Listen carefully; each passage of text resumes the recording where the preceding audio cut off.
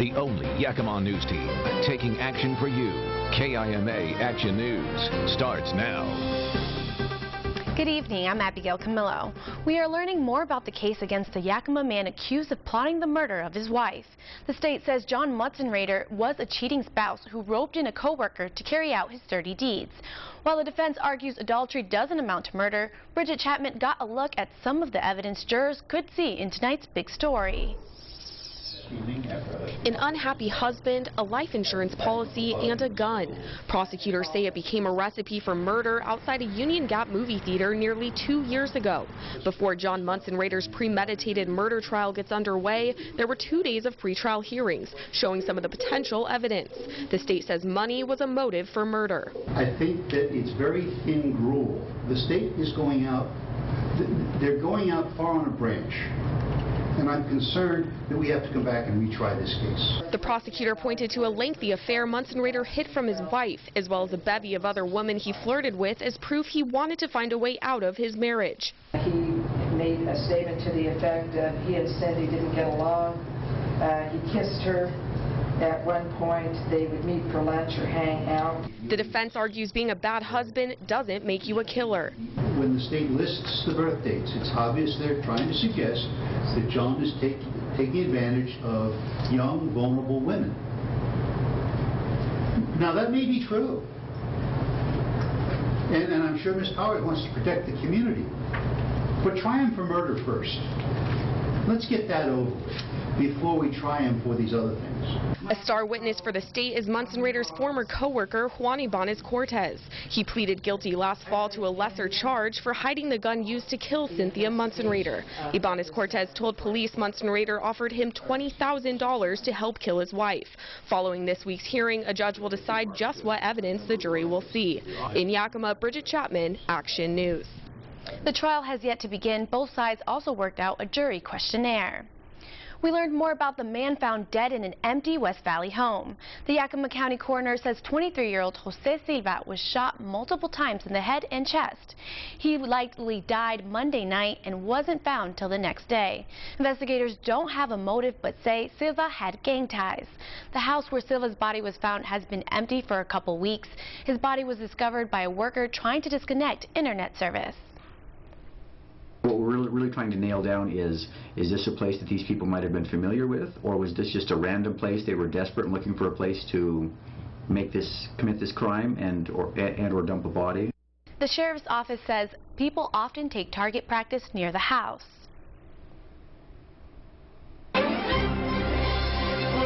Let's take a look at our weather headlines heading into the next 24 hours. Tonight, we'll likely see fog develop, and it will likely become more widespread and stick around a little longer. In fact, we may be talking about some areas of patchy freezing fog, which will make for some slick roadways out there. Winds are going to be light. We have that high pressure right over the top of us, and a lot of you will be stuck in the fog most of the day tomorrow unlike today where those of us in Yakima, Selah, West Valley enjoyed sunshine while other parts into Ellensburg and the lower valley stuck in the fog. I think that becomes more widespread tomorrow. It's going to be a little harder breaking out of it, but if we do, we'll enjoy some sun breaks in the afternoon. The rest of the Northwest will enjoy a dry, mild day with sunny conditions, except here in the valley areas where we'll be contending with that fog. Coming up, I'll let you know the problem spots and what you need to look out for in your full storm tracker forecast in just a few moments. Abigail, back to you. Thanks, Mike. Every city is required to file financial reports with the state. It's a way to see how they're spending your money. But KIMA learned some of our local cities aren't keeping up, filing late reports or filing with bad information. Samina Engel asked Sunnyside the tough questions, while Union Gap wasn't yet willing to offer the same transparency. Sunnyside's checkbook isn't pretty, and the Washington State Auditor's Office has noticed, calling out the city for filing late financial reports or incomplete ones, not once, but three times, 2011, 2012, and 2013. I asked the city manager to explain this. The books were never properly closed. In other words, there were bills out there that were not paid properly.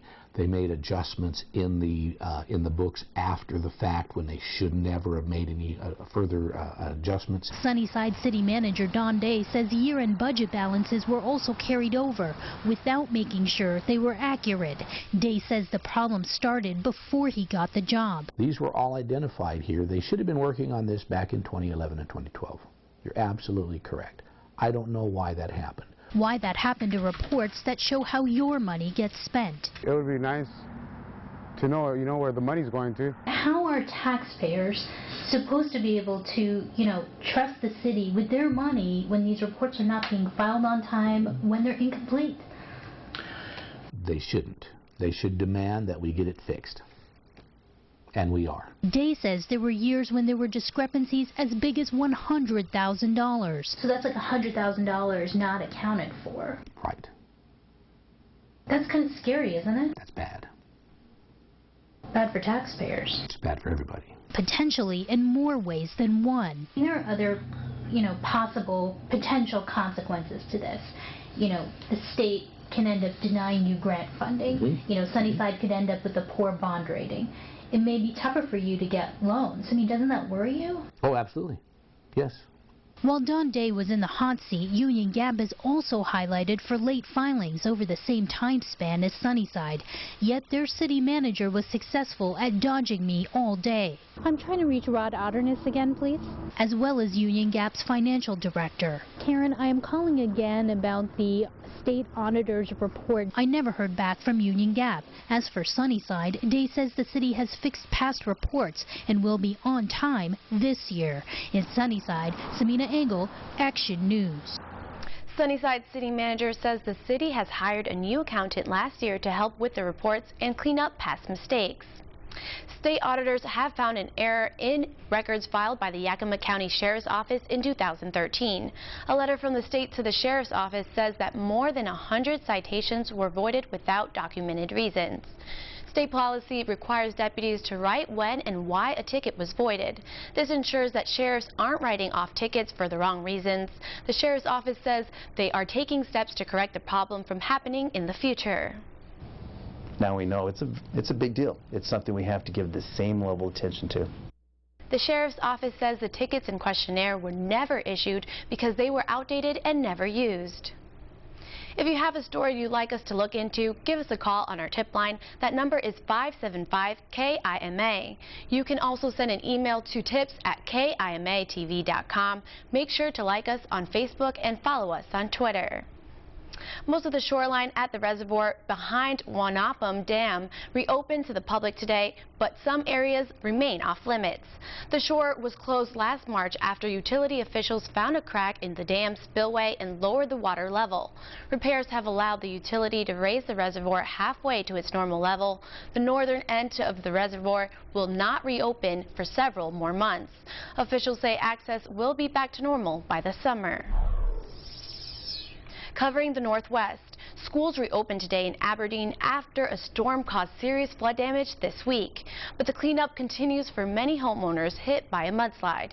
80-year-old Gail Christner had to be rescued through the roof of her home.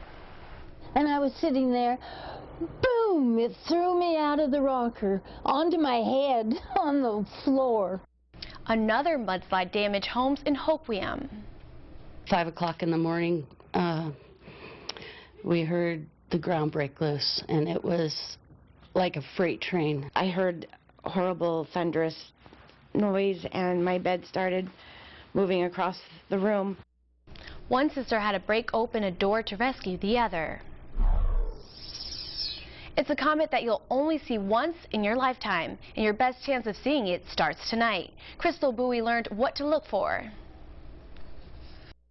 Comet Lovejoy has made its way closer to Earth, as close as the comet can be when it's 44 million miles away. Now, you won't even need an observatory like this one behind me to view Comet Lovejoy in the sky tonight. Scientists say you can view it with your naked eye. Although most comets are best seen in the early morning, Lovejoy will be the most obvious in the late evening, around 8 p.m. for the next two weeks. I've got this yellow balloon here, which represents the sun.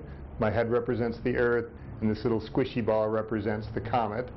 So tonight, it's close to the Earth, but notice that it's farther from the sun, so as it moves close to the sun, it's going to reflect that sunlight because the comet itself does not produce its, its own light. You can find Lovejoy in the southern part of the sky, about mid-height with a faintish glow. Start by finding the brightest star in Orion's belt, then look to the right. Unlike shooting stars, Lovejoy will gradually move across the universe. And if you have binoculars, Lovejoy will almost look like a cotton ball. You, if you are at a very dark site, it's going to look like a smudge, and in fact, you would look at it and you'd say to yourself, is that really something that I'm seeing, or do I just have one of those floaters in my eye? Although it may appear faint in the distance, don't be fooled. The comet radiates much further than its core, made of gravel, dust, dry ice, and ammonia. This little object that's maybe smaller, for sure smaller than Yakima County in size, but when you look at it, what you see is bigger than the Earth. Although they're often referred to as dirty snowballs, Dr. Bruce Palmquist says studying comets can give us clues into the universe's past. In Ellensburg, Crystal Buoy, Action News. The comet gets its name from astronomer Terry Lovejoy, who discovered it. Comet Lovejoy is only expected to appear once every 10,000 years. You can get a look at the latest in agricultural products and technology this week at the 6th Annual Yakima Ag Expo. It's going on tomorrow and Friday at the Yakima Sundome. Farmers can attend classes and get certification credits at the show. Admission is $5. Coming up on Action News, it's supposed to show how much an appliance costs to run. Why that yellow tag might not always tell the full story.